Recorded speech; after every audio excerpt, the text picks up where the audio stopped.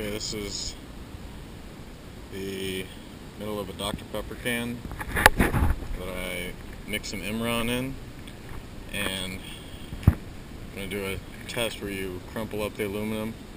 We'll see uh, if it cracks or breaks any part of the Imron or, or what happens. So let's get that all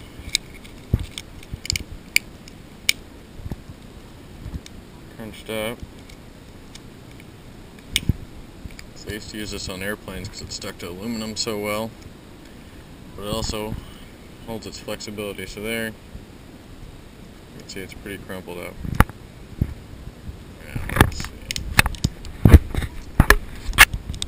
And just uncrumple this.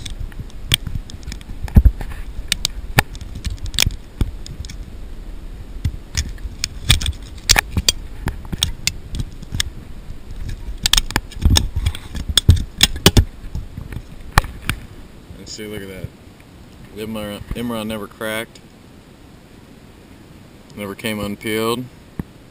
Obviously where the aluminum broke, where I bent it so hard, it paint broke with it, but that's obvious. No.